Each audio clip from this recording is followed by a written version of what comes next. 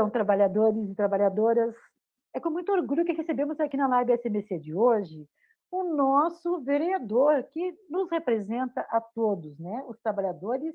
Estamos falando aqui com o nosso companheiro Denilson Nogueira de Oliveira.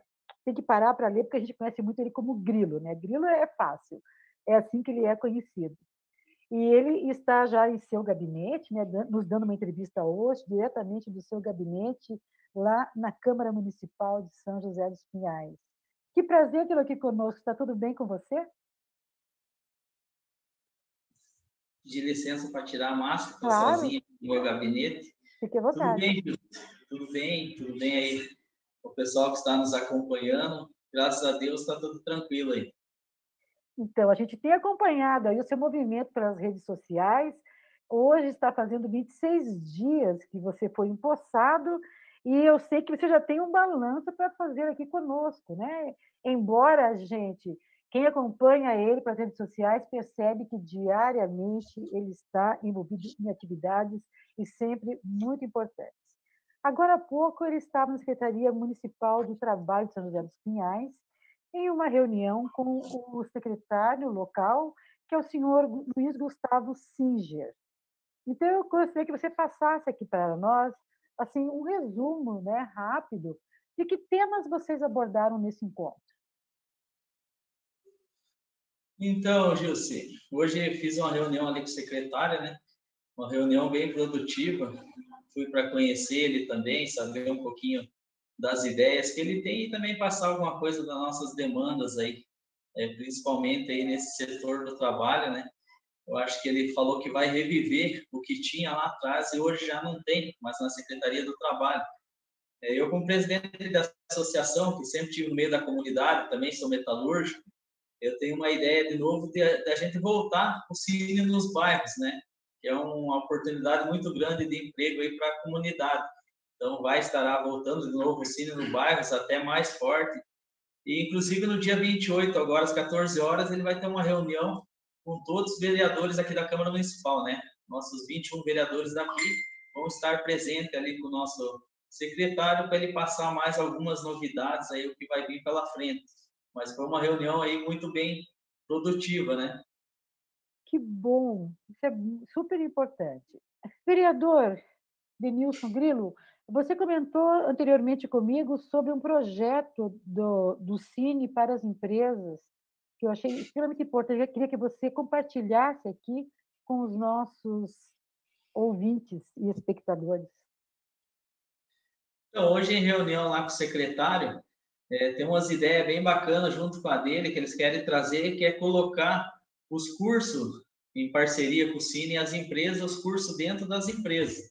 Assim você vai conseguir fazer o recrutamento interno e aquele trabalhador que está numa função hoje, ele pode ter esse curso e fazer o recrutamento para ele mesmo se qualificar e estar crescendo dentro da empresa, sem a empresa precisar estar demitindo esse trabalhador. Mobilidade, isso é maravilhoso. Isso garante que os trabalhadores tenham mobilidade dentro das empresas, que eles podem é, galgar né, outros, outros cargos é a melhor notícia que você tem para dar para os trabalhadores que estão empregados, que eles vão ter esta oportunidade de poder crescer dentro de suas empresas. Bem bacana. Então, falando nessa reunião, é, fora a questão de projetos, que vamos falar daqui a pouco mais, eu também tenho acompanhado pelas redes sociais, porque você tem postado lá alguns ofícios de ações que você tem feito diretamente até com outras secretarias né, de obras. Queria que você falasse um pouco para nós sobre essas atividades que você tem desempenhado. Então, Júcio, nesses 26 dias de trabalho aí, né, de 2021, é, fiz lá atrás, na minha pré-campanha, sempre falava com o meu eleitor que eu ia trabalhar de verdade, né? não ia ser um vereador também de aparecer de quatro em quatro anos, mas eu ia estar no meio do povo, no meio da comunidade, graças a Deus, nesses 26 dias já estamos fazendo um trabalho forte, acompanhando, fiscalizando principalmente as obras que já estão acontecendo e já conseguimos fazer ofício aí em várias secretarias, principalmente na obras, Na agricultura, hoje vai sair aí, daqui dois, três meses, vai sair uma feira livre na Grande Guatupê. Que bom. É uma demanda antiga também, né? Que já tem até vereadores dali, próprio vereador amigo meu também, que já tinha feito uma solicitação lá atrás dessa feira livre. Hoje nós estamos reforçando, batendo ofício e sendo atendido aí pelo secretário. Muito que positivo bom. também. Em breve estará também realizando essa feirinha livre na Grande Guatupê é importante, vereador, porque estimula o, o comércio local, a economia, oportuniza as pessoas ali a poderem fazer, é, as pessoas que produzem muitas vezes ou tipo de alimentos ou até artesanato. Então, são ações afirmativas nesse momento de grande vulnerabilidade em relação à pandemia. Falando em pandemia, o município de São José dos Pinhais com certeza, a exemplo dos demais é, municípios do estado, receberam sua, sua cota né, das doses de vacina. É, você tem acompanhado o projeto de imunização local aí de São José dos Pinhais e pode nos dizer assim como é que ele está se desenvolvendo? Sim, Gil, estamos acompanhando, né? Inclusive no primeiro dia de vacina ali, eu estive lá presente, né? É, onde foi vacinado ali uma enfermeira nossa aí do nosso município recebeu a primeira vacina aí. Então já chegou o primeiro lote, chegou o segundo agora, mas estamos acompanhando, inclusive foi levar uma carta em mãos, né, para a nossa prefeita aí do município, é, solicitamos alguma coisa nessa questão aí da vacina, né, do Covid-19, principalmente também nas vacinas aí dos grupos prioritários, para nós também, metalúrgico, né, é, solicitando aí uma vacina do nosso pessoal aí que ainda se está afastado, né, por ali na empresa hoje na Renault, na Volkswagen, falando um pouco de metalúrgica, nós temos vários trabalhadores, é um grupo pequeno, né, não chega acho que a 10% aí, mas temos esse grupo afastado aí, um grupo de risco dessas empresas. Então também nós vamos ver se conseguimos prioridade em cima desses trabalhadores e para voltar com certeza com essa vacina, voltar a crescer nossa economia aí e melhorando as coisas no nosso dia a dia. Eu sempre, até num vídeo que eu fiz esses dias atrás, falei da importância de todos os moradores, né? A hora que for liberado, a importância no geral de toda a nossa comunidade, a população, de tomar a vacina. E isso é uma importância fundamental, né? Da população tomar a vacina. E também quero é, deixar bem claro aqui essa importância de tomar a vacina e com certeza a nossa população tomando essa vacina volta, é, vai voltar a crescer, como nós conversamos agora, a nossa economia. Outra questão é assim a prioridade, né, que eu comentei de tomar a vacina, toda a nossa comunidade. Ah, o principal é tomar a vacina, né? Eu acho que isso a gente tem que deixar bem claro a necessidade e a importância de tomar a vacina.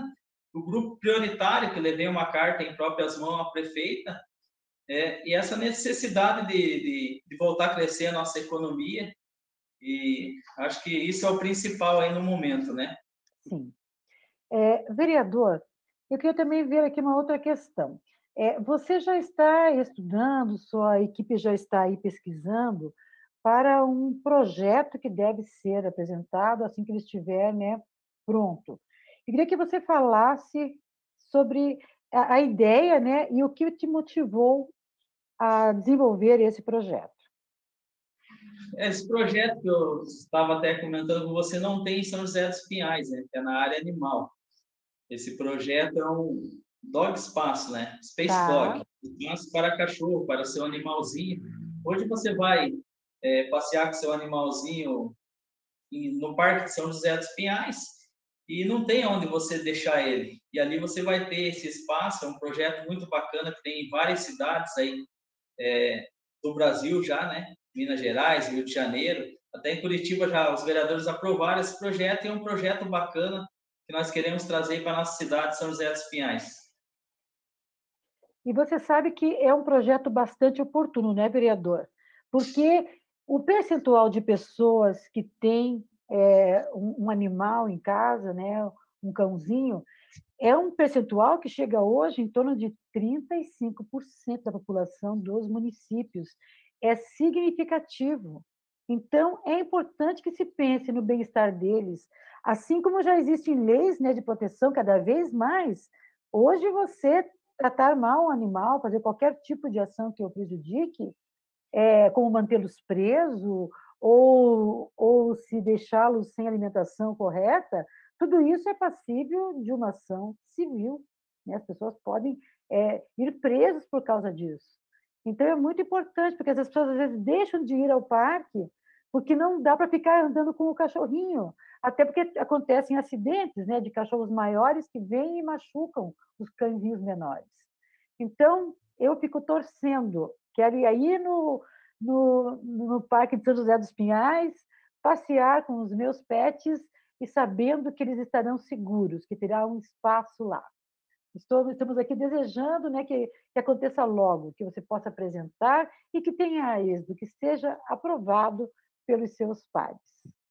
Eu gostaria que você deixasse aqui uma mensagem para os trabalhadores, né, em relação à vacina, em relação ao distanciamento social, higienização das mãos, porque a gente sabe que a vacina ela não está ainda ao alcance de todos, e, hora, e enquanto ela não estiver, nós temos que nos manter é, sob esses cuidados e mesmo depois. Né? Então, eu queria que você reforçasse esse, essa ideia.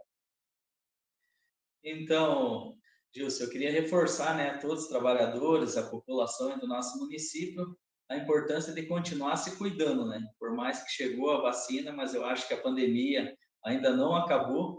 Então, com certeza, eu acho que a gente tem que continuar se cuidando, o distanciamento, o álcool gel, a máscara, e só assim nós vamos continuar se cuidando aí dessa doença aí que, que veio para abater muito aí a nossa sociedade. Muito obrigada, vereador, pelo seu tempo, tá? Desejamos para você que seu projeto continue nessa mesma levada que está até aqui, porque a gente diariamente acompanha você em todos os bairros de São José dos Pinhais, tá? É isso que a gente está desejando para você e com certeza a, a, confiança das pessoas que votaram em você, elas só se fortalecem a cada dia por verem que você está dedicando todo o seu tempo em defesa deles, né? garantindo uma condição melhor de vida para a população de São José dos Pinhais. Um grande abraço para você. Gilson, eu que agradeço pelo convite aí. E as portas do meu gabinete estão abertas para você, para a nossa diretoria do sindicato e para toda a comunidade de São José dos Pinhais aí. É o gabinete 13 aqui na Câmara Municipal de São José dos Pinhais, o gabinete do vereador Denilson Grilo. Muito obrigado. Que bom, anotamos, pode anotamos aqui, tá? Porque a gente vai visitar você aí, com certeza, tá? Um grande abraço, fique bem. Obrigada. Um abraço. Tchau, tchau.